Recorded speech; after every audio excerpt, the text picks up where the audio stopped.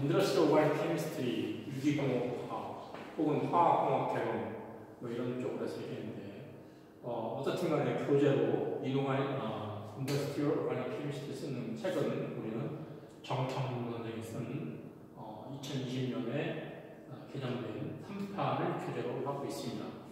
실은 여러분들이 이 부분에 대해서 어, 많은 음, 그 온라인 강좌에 띄워놓은 제가 그 동영상 자료를 여러분 시청할 수, 수, 시청하셨을 것으로 믿습니다. 그렇죠? 어, 우리 이, 이쪽 분야에 관련된 내용들이 너무 많기 때문에 여러분들은 많이 봤을 텐데 어, 그 중에서 여러분들이 책을 딱 보면 preface가 딱 나와요. Preface는 뭐야? Face는 얼굴이 좀 알겠는데 pre는 뭐야? 뭐뭐의 앞에, 전에 그러니까 얼굴 앞에 있는 건 머리부터.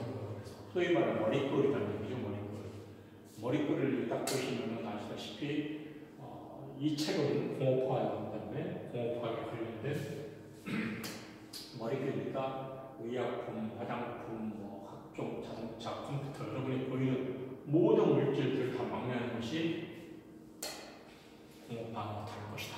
이거예요. 왜? 여러분이 이미 일반화를 배웠어요. 화학이 뭔지를 배웠어요. 화학이 뭐죠? 물질의 화학 이렇게 배웠어요. 물질이 뭔데? 물질이 뭐야?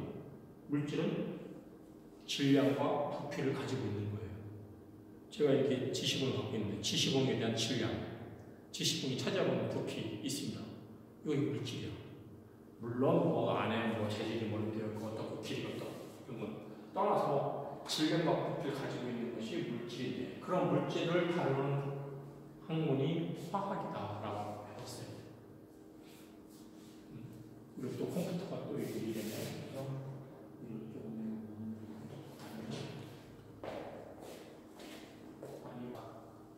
그래서 그래서 여러분들이 어, 지금 물질을 다루는 학문인데 그런 물질이 다루는 학문에서 제품 물질인데 결국에는 인간 생활을 유택하게 만들어주는 것은 제품이에요.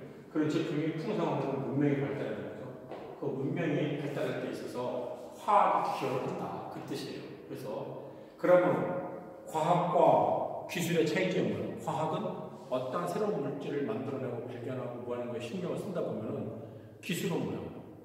기술은 그것을 인간 생활을 웬만큼 보탬을주는 윤택한 생활을 해결해주는 대량 생산을 만들어서 인간의 삶을 풍요롭게 만드는 데 있는 거죠. 그렇기 때문에 과학도 알아야 되지만 기술도 알아야 돼요. 과학적으로 밝혀졌어도 기술적으로 해결이 안 되면은 혜택을 못 보는 거거든요. 그죠? 그러니까 지금 우리가 달나라 가는 거, 달나라를 소, 국소수의 사람은 갔다 왔어요. 달에 대한 내용을 알기 위해서 가는 거예요. 그렇지만 아직은 기술적으로 많은 사람들한테 달나라를 그냥 우리가 여기서 베트남 여행 가듯이 일본 여행 가듯이 갈 수 있는 것은 아니란 말이에요.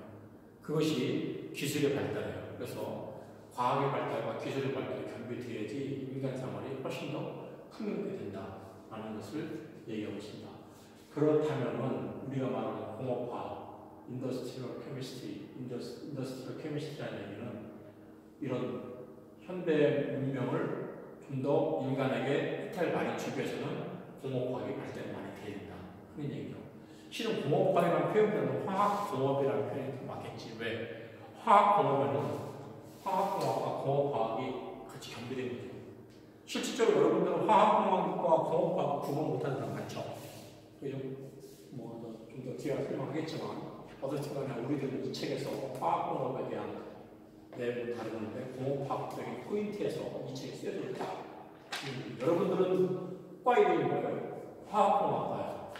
화학공학과는 또 화학공학 나선다류에 틀이 있는데 우리가 실질적으로 많은 졸업생들이 화학공학 전문 분야에 종사하는 들 있지만 공업화학 분야에 종사하는 훨씬 더 많기 때문에 우리가 공업화학에 나오는 이 책에 차례가 총론이 일부에서 나와 있고 즉 화학공업이 뭐냐 그 중에서 공업화학은 뭐냐 화학공학은 뭐냐 라는 걸 배워요 여기에 일부는 화학공학 개론을 배우는 사람도 있고 공업화학 개론을 배우는 사람도 있습니다.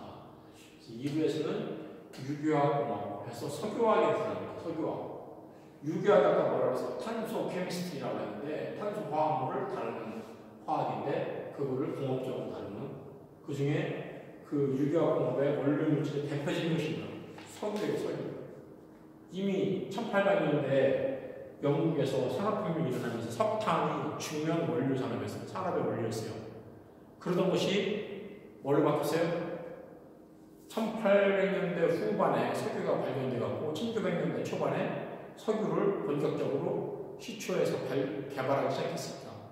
그래서 아마 석유 산업이 고분자가 1900년대 중반 어, 막 시도를 돼갖고서 본격적으로 꽃을 피운 것은 2차 세계대전이 끝나는 1940년대 후반 이때부터 본격적으로 석유화학 시대가 열린 거죠. 지금은 패권이 되어 있어요. 석유에 있어요. 요즘에 세계적인 유가가 급 락을 했죠. 급락 떨어졌죠. 뭐의 싸움이에요? 미국의 석유, 쉘, 그것이 생산 단가가 높아요. 뭐보다? 땅속에서 석유 캐내는 겁니다. 그러니까 사우디하고 러시아가 생산량을 왕창 늘려갖고 미국의 쉘의 단가를 너무 높으니까 그거를 이렇게 좀 꺾어보려고 하는데 그러다 보니까 석유값을 원유값을 낮춰놨죠. 지금 석유 원유가가 바를당 뭐 무려 20달러, 20까지 군대가 붙였죠. 40달러까지 돼야 되는데 40달러 시중에 들어가는데 한 한 달 전부터 20달러 급 떨어졌어요. 그러다 보니까 미국이 어떻게 돼? 단가가 안 맞는 거죠. 그렇죠? 사우디나 러시아에서 러시아에서는 가스로 사우디는 석유로 생산해갖고 20달러에 해치니까 그만큼 미국은 못 들어가는 거죠. 근데 미국이 가만히 있습니까? 이놈들 그거 그러면 안 돼. 이러면서 또 한방 먹겠죠. 그러고서 응? 지금 사우디가 또 미국이랑 회의하고 다 석유가도 올리겠다고 이런 얘기도 나오는 것 같은데 어쨌든 석유에 대한 얘기가 그렇고 우리는 다루지 않는 겁니다. 무기화 얘기는 전통적인 산업 관리, 비료, 아모니아 다루지만 우리는 다루지 않고 고 최근에는 이런 전자, 요즘에 말하는 2차 전지 여러분이 요즘 환경적인 친환경차, 전기차가 있었죠. 전기차가 움직이는 뭐가 돼? 배터리가 움직여야 돼. 배터리는 뭐 2차 전지죠. 1차 전지와 2차 전지 차이점이 뭔지 아시죠? 1차 전지는 한 번 쓰고 버리는 거예요. 한 번 쓰고 버리는 것이 1차 전지라면은 여러분들이 옛날에 뭐 무슨 계산기 속에 들어있던 전지들 이런 것들 한 번 쓰면 버리죠. 라디오 속에 들어있던 거. 근데 2차 전지는 뭐야? 한 번 쓰고 다시 충전을 쓰죠. 여러분들 요즘에 스마트폰에 있는 전지 매일 지나마다 충전기로 충전하죠. 그것이 2차 전지예요. 다시 쓸 수 있는 거. 어, 자동차 전지도 그런 것들이 용량이 커갖고서 요즘에 전지들이 뭐 음, 수명이 뭐, 뭐 100km, 400km, 700km, 몇 km 막 그러잖아요. 그럼 한번 충전해서 몇 킬로 갈 수 있느냐가 2차 전지의 생명을 좌우합니다. 어떻든 간에 그리고 마지막에 정밀화고 합니다. 정밀화. 그러니까 우리가 지금 공부할 부분은 1부의 충분 부분하고 제2부의 석유공업과학의 부분, 그 다음 4부의 정밀화. 정밀화는 뭘 얘기해? 다품종 소량 생산으로서 부가가치가 높은 것을 생산하는 것. 어떤 것들이 있어요? 의약품, 화장품, 뭐 유지, 배면화제 등등등 이런 것들이 다 그럴 거예요. 그래서 여러분들은 앞으로 어, 이 분야들이 여러분들이 진출할 분야들입니다. 졸업하면은 석유화학 분야에 나가고 고분자 쪽으로 가는 사람들이 있는가 하면은 정밀학 분야로 해서 의약품이나 화장품 쪽에 취업하는 사람도 있고 요즘에 새로이 어, 각국학번에는 전지 혹은 반도체 쪽에 진출하는 사람도 있습니다. 여러분 선배들 중에서 반도체에 관한 사람도 있습니다. 어, 지난 16년도에 제가 취업, 솔브레이브라고 어, 삼성 반도체, 어, SK 하이닉스 이런 거와 같은 반도체 검사장들을 만드는 회사인데 거기 반도체 공장 똑같습니다. 우리 그 지난번에 들었던 김주영 그죠 그런 학생들도 가 있고요. 자 어떻든 간에 여러분들이 이 책을 통해서 배울 부분들은 여러 가지 있습니다.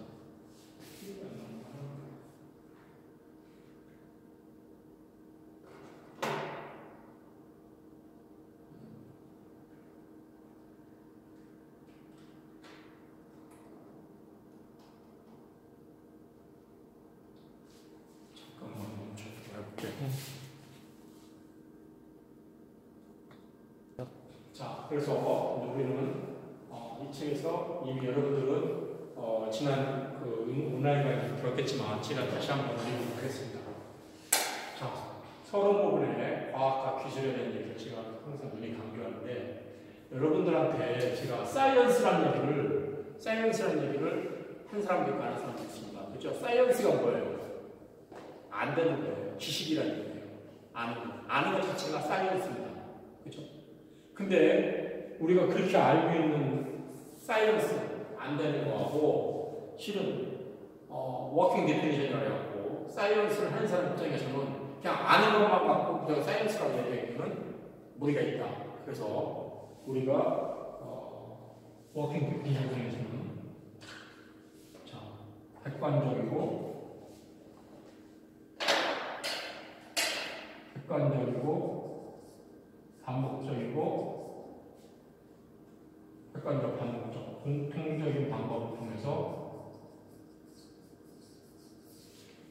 얻은 지식.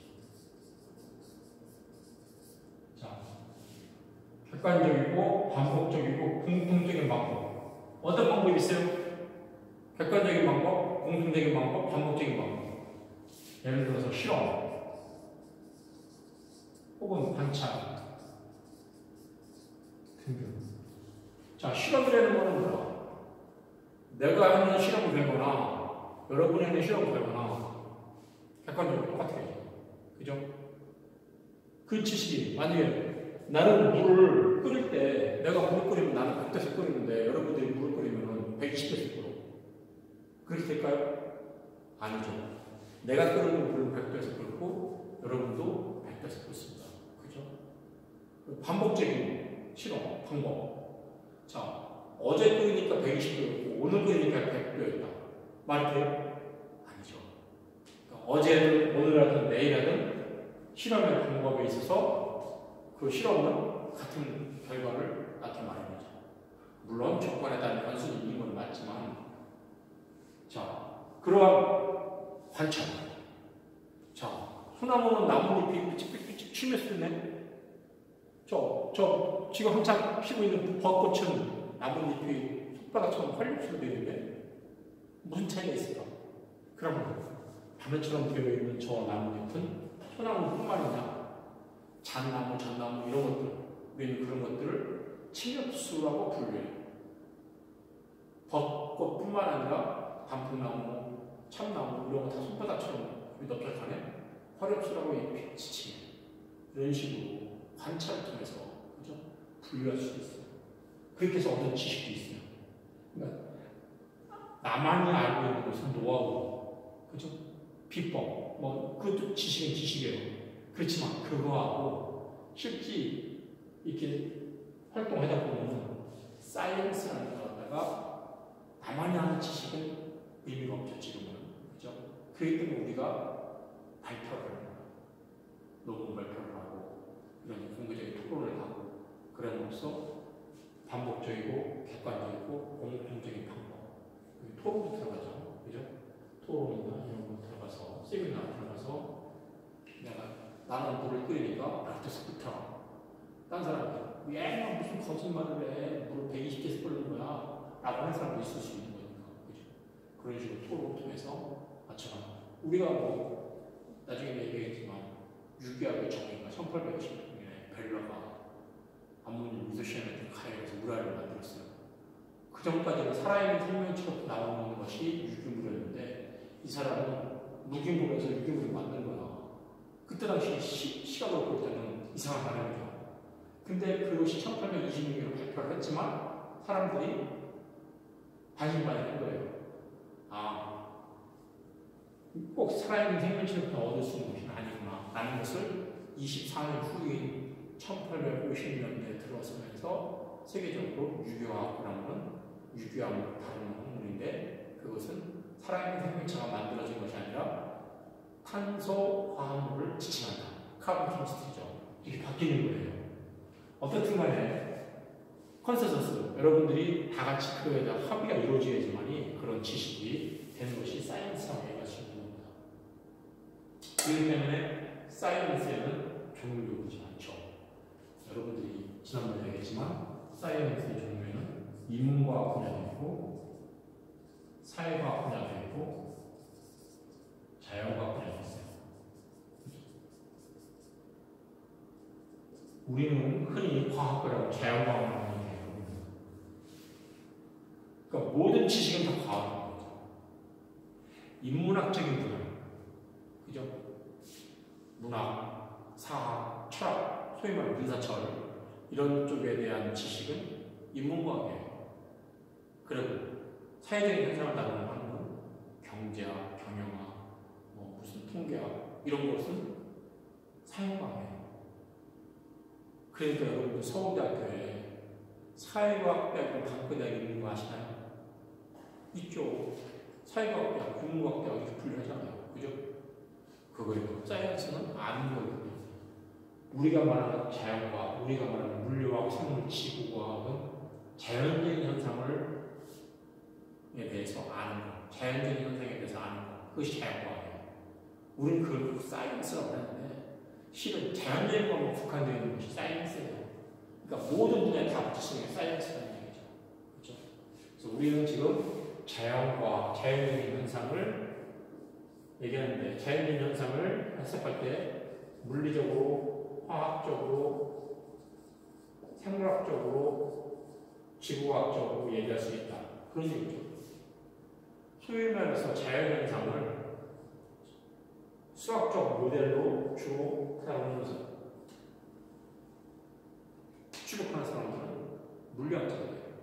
그러니까 무슨 법칙, 운동의 법칙, 연력학 제일 법칙, 가속도의 법칙, 무슨 법칙을 많이 만들잖아. 수학적 모델 만들어갖고 F니꼴 MA 그죠? 해갖고서 생물학자들은 어떻게 해요? 박물학적으로 거예요. 박물학적으로. 박물학이라는 게 뭐야? 여러분 박물관 가봤나요? 박물관 가보면 1층에는 고조선 시대, 고구려 시대, 왼쪽으로 가면 백제 시대, 오른쪽으로 가면 신라 시대, 2층으로 가면 고려 시대, 3층으로 가면 조선 시대, 4층으로 가면 근대 이렇게 바뀌죠. 그러면 귀화장을 보고서 귀화장의 무늬가 3조 새 발이 세개 있는 3조고의 그새 발자국 찍혔으면 고구려 시대 귀화구나. 뭐 연꽃 무늬가 찍힌 귀화를 보면 여러분들은 백제 거구나. 라고 이렇게 분류를 해서 전시해놨어요. 그러니까 박물관은 관찰을 통해서 입이 뾰족한 거, 입이 뾰족한 거 이렇게 분류하는 거예요. 식물 분류하고 동물 분류하고 동물이 새끼를 낳아서 젖을 먹여 키우면 포유류, 그죠? 우리 인간은 포유류잖아요. 그렇죠? 뭐 날개 달린 날아다니는 조류 뭐 이런 식으로 파충류, 양서류, 어류 이렇게 분류한단 말이에요. 그래서 생물은 분류학이라고 게 있었어. 분류학, 그죠? 분류를 기초로 분류를 해다 보면서 그 분류에 나름대로 계통적인 공통점이 있고 특징이 있겠죠. 그죠? 그래서 어떻게 보면 화학은 어떤 걸 했냐? 이런 모델을 주로 다니는 물리학적인 면과 박물학적인 면을 다 플러스 시키고 믹스하는 것이 화학이에요. 필요. 그러면 그렇게 따지면 너무 재미가 없죠. 그래서 화학은 여러분들이 일반화시면 배우겠지만 화학은 물질의 과학이다. 물질의 과학이다. 물질은 뭐라고? 질량과 부피를 가지고 있는 거. 그러니까 눈에 보이는 모든 것들은 다 물질이에요. 물론 안 보이는 것도 물질이 많죠. 공기 눈에 보여요? 안 보여요. 그렇지만 물질입니다. 왜? 공기도 공기 나름대로의 질량이 있어요. 공기도 공기 나름대로의 부피를 차지하고 있어요. 그렇죠? 그렇기 때문에 물질이라고 얘기할 수 있습니다. 그래서 그런 것들을 다루는 것이 물질의 과학이고 여러분들은 좀 더 working definition적으로 화학을 따지면 화학은 물질의 과학이다라고 얘기했지만 좀 더 우리 과학적으로 얘기한다면 화학은 전자의 이동을 다루는 학문이다 이렇게 얘기할 수 있어요. 왜? 화학은 물질의 조성과 구조와 특성을 가지고 이해하고 그 변화를 공부하는 학문이에요. 좀 더 심각하게 얘기한다면, 아, 저 깊이 들어가서 얘기한다면, 물질의 과학인데 그 물질의 성분을 알고, 조성 성분을 알고, 그럼 구조를 알죠. 구조를 알고. 알면 성질을 알아요. 그래서 물질의 조성과 구조를 이해해서 성질을 알고 성질을 알면 그 변화, 그 물질의 변화, 뭐의 반응이죠. 반응에 따른 에너지를 알고. 에너지가 있어야 변화가 일어나는 거죠. 성냥이 가만히 있으면 불 붙습니까? 아니죠. 불을 붙을 만한 에너지를 가지고 있는 거죠. 그렇기 때문에 라이터 그냥 켜잖아요. 라이터 불을 확 키는 에너지가 있어야지만이 라이터에 불이 붙는 거예요. 그것처럼 그 물질의 조성과 구조와 성질을 이해하고 그 변화에 대한 에너지를 공부하는 학문이 화학인 거예요. 화학. 그죠? 이게 화학입니다 화학. 자, 그 중에서 우리는 어떤 화학을 거예요? Organic chemistry. 아까 얘기했던 거. 탄소로 이루어져 있는 화학. 탄소 화학을 알아요. 그전에는 1850년대 이전에는 마이타. 살아있는 생명체가 만들어낸 화합물을 다루는 것이 유기화학이고 살아있는 생명체와 관계없는 화합물이 무기화학이었어요. 그러니까 돌멩이 무기화합니다. 물 무기화합니다. 그리고 1820년 얼마나 요소, 우레아를 만들었다죠 오줌이에요, 오줌. 오줌은 누가 넣어? 동물이, 살아있는 동물 게 오줌이야. 근데 벨러가 아모늄 미소 시아네이트를 가열해서 우레아를 만들었어요. 그러니까 말도 안 되는 거죠. 그때까지 생각을 하고. 근데 하루아침에 이렇게 변하니까 사람들이 생각이 아니죠. 1850년도 됐어야 그것이 유기물이구나. 그래서 그때부터는 우리는 탄소를 포함한 화합물을 유기화라고 얘기하기로 하자라고 정의를 내리고 얘기하고 있어요. 그럼 탄소를 갖다가 다 유기화물에 여러분이 좋아하는 이거 뭐죠? 탄소. 탄소 덩어리, 흑연, 탄소 덩어리죠. NPC. 다이아몬드, 탄소 덩어리. 이것도 탄소 화합물이죠. 그렇지만 CO2, CO2 가스, CO2 가스 이런 것들을 탄소 가스 이런 것들을 유기하면 아니에요. 탄소를 포함하고 있어도 이런 다이아몬드나 흑경, 일산탄소, 탄소, 탄소 가스는 탄소를 갖고 있어도 유기하면 아니라는 거 그건 기본적으로 딱 넘어가겠습니다. 자, 그러면 이쪽 사이언스를 얘기했어요. 사이언스는 안 되는 건데, 그죠? 화학은 물질의 화학 과학으로서 우리가 그 물질의 조성과 성질을, 구조를 이해하고 성질을 알기 때문에 그 변화, 즉 반응에 대한 것을 안다. 이렇게 얘기했는데, 그럼 테크놀로지, 기술은 뭐? 기술. 기술.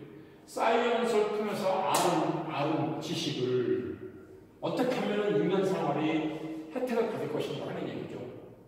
그죠? 그것을 연구하는 것이 테크놀로지예요. 아까 얘기했지만 우리가 달나라에서 달의 화살이 어떻고 어떻고 막 사이언스적으로 알았어. 해석을 했어. 그럼 달나라에는 쉽게 가지니까 아직은 여러 가지 기술이 미비하기 때문에 달나라에는 못 가요. 우리가 1700년대에도 이렇게 비행기 타고 다니나요? 아니죠. 라이트 형제가 비행기를 개발하고 수많은 기술적인 발전을 통해서 우리가 지금 보잉 707, 777 해서 400명, 500명이 타고 다니는 비행기가 나오는 거잖아요. 표창에 혼자 타고 다니다가 낙하했는데, 그죠? 그것처럼 사이언스를 알아보고 비행기는 뭐 양력에 의해서 뜨고 뭐에 의해서 가라앉는다는 거 알아요. 알아도 기술적으로 뒤받치 안 되는 거못 뜨는 거잖아요. 그게 기술인 거죠.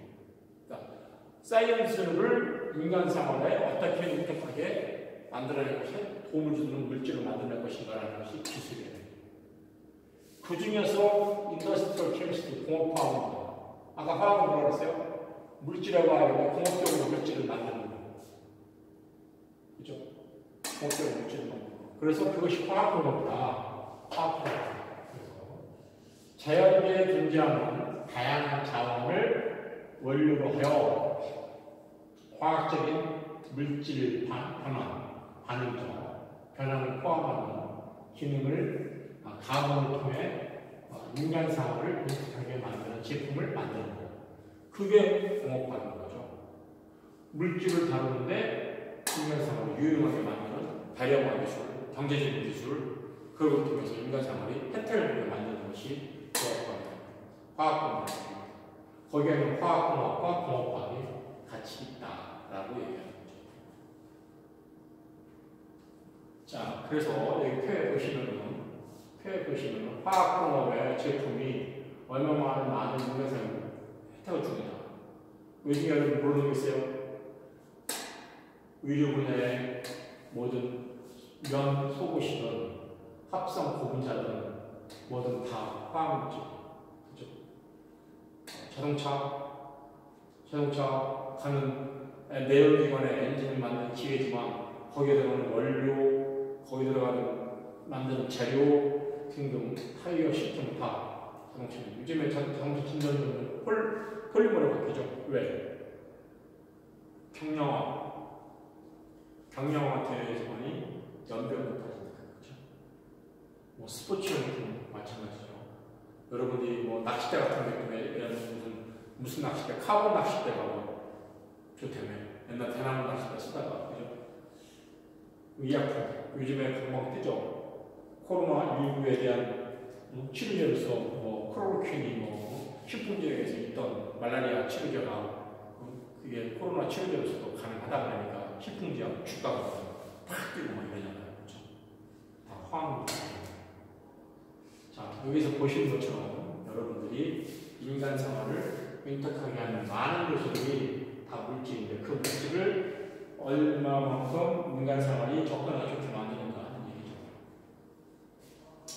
그래서 1-2절에 보시면 생산 공정에 대한 것인데 여러분 화학공업의 생산 공정을 우리는 단위관과 단위 조작으로 연결되어 있다. 단위 관입니다. 어떤 물질이 변하는 과정에서 산화, 환원, 니트로화, 알키로화 등등 얘기합니다. 쉽게 얘기해서 여러분들이 뭐 산화 좋습니다. 우리 밥이 있어요. 밥을 잘 먹다가 남았어. 남은 밥 일주일 지나면 어떻게 돼? 곰팡이. 산화되는 거죠. 산화되는 거죠. 뭐, 아, 곰팡이 나서 산화가 아니라 공기 중에서 산화됩니다. 여러분, 사람도 산화됩니다. 늙어가는 거죠. 노화되는 거죠. 노화된다는 게 뭐야? 공기 중에 산소하고 접촉을 많이 한다는 얘기예요. 서서히 지내는 것 뿐이지, 서서히. 그죠? 서서히 지내는 것 뿐이에요. 여러분이 술 담글 때 술을 담그다가 잘못 담그면 뭐가 식초가 되죠? 산화되는 거예요. 그죠? 자, 그것처럼 그런 단위 있는가 하면 단위 조작이 있어요. 조작은 뭐야? operation. 어떤 물질을 만들려면 그 물질을 집어넣어야 되는데 이 물질이 잘 반응하도록 잘게 썰어준다든지 여러분 쉽게 얘기해서 어떤 큰 덩어리를 갖다가 잘게 썰어주는 이유가 뭐야? 표면적을 높여고 저표면적을 늘려서 반응의 속도를 높이는 거예요. 그죠? 그게 참 방법이죠. 그래서 여러분들이 뭐를 누를 때 잘게 갈거나 잘라주는 이유가 그런 거죠. 개와 교면 사이에 저축률을 집에서 그래서 여기에는 어떤 화학공업이 일어나려면 단위 조작과 단위 반응이 일어나야 된다. 그래서 단위 조작에 포인트 있는 것이 화학공학이라면 단위 반응의 초점을 맞추는 것은 공업화학이다. 이렇게 얘기하면 돼요. 쉽게 해보려면. 물론 화학공학이든 공업화학이든 그게 다 있듯이. 그렇지만 포인트를 어디다 쓰느냐 하는 거에 차이 있습니다. 그래서 여기 unit reaction 단위 반응에는 이런 거 산화, 환원, 뭐 전기분해 등등. unit operation에서는 증류 distillation이죠. 뭐 추출, 여과, 건조. 여러분이 일상에서 많이 보는 거죠. 그죠? 이렇게 어떤 반응이 일어나기 쉽게 틀을 만들어 주든가 혹은 반응이 일어나는 것을 어떻게 하면은 굉장히 순수한 물질로 우리가 좋은 물질로 분리해낸다라는 것들을 경험해야 됩니다. 자, 그래 우리가 뭐 장치 산업이 많이 발달됩니다. 장치 산업이 뭐야? 여러분 인간 아 지금 온라인 분야 보셨죠? 여차 산업단지에 거대한 설교 컴퓨터 그랬죠. 바로 그것이 장치 산업입니다.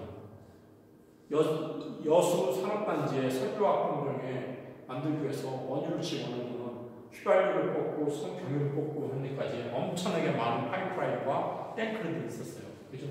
그런 것도 산업이에요. 그래서 거기에서는 어, 어떤 경제성을 고려, 고려해서 만들어야 된다. 왜? 많이 만든다고 크게 만든다고 좋은 것만 아니지 왜? 건설비가 많이 들어. 크게 만드는 거기에 그만큼 인건비가 들어. 또 크게 만드는 그만큼 양면비가 들어. 그래서 많이 나오는 대량 생산에 적합한 항목은 그렇게 해. 그죠?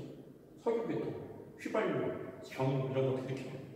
그렇지만 의약품 이런 거 그렇게 해? 그렇게 안 해. 왜? 단계가 여러 단계. 그냥 단순히 집어넣고 열면 가야한다고 나오는 그런 단순한 배설물이나 경유와는 달리 의약품은 step by step으로 넘어가야 돼요. 사람의 일을 많이 들어가야 돼요. 그렇기 때문에 큰 장치 필요 없어요. 오히려 실험실 같은 연구실이 많이 거죠. 그죠? 자, 한편 제재 방식이 그래서 회분식으로 가느냐, batch식으로 가느냐 이렇게 나뉘겠지. 그죠? 회분식은 뭐야? 회분 돌아오면 통, 하나의 통에다가 넣는다는 얘기지. 쉽게 얘기해서 여러분들이 드럼통 같은 데 들고서 막 반응시켜갖고서 나오는 것들 그게 해분식이죠.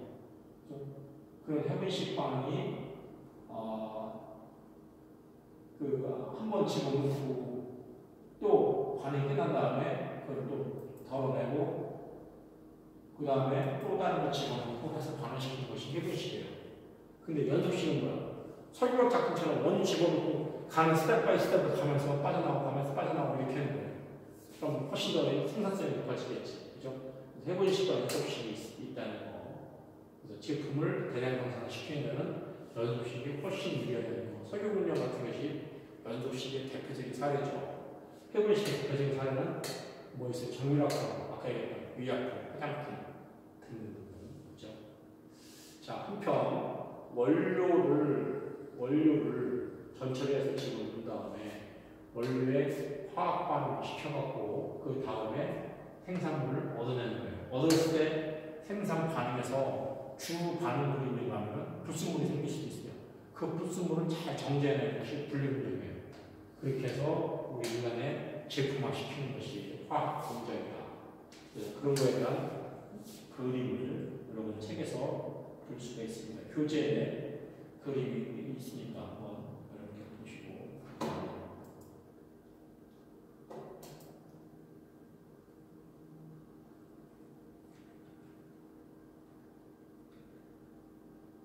자, 한편 어, 화학 공정에서는 유기화학적인 유기화학공업하고 무기화학공업을 이제 비교를 해보자라고 했는데 유기화학공업하고 무기화학공업.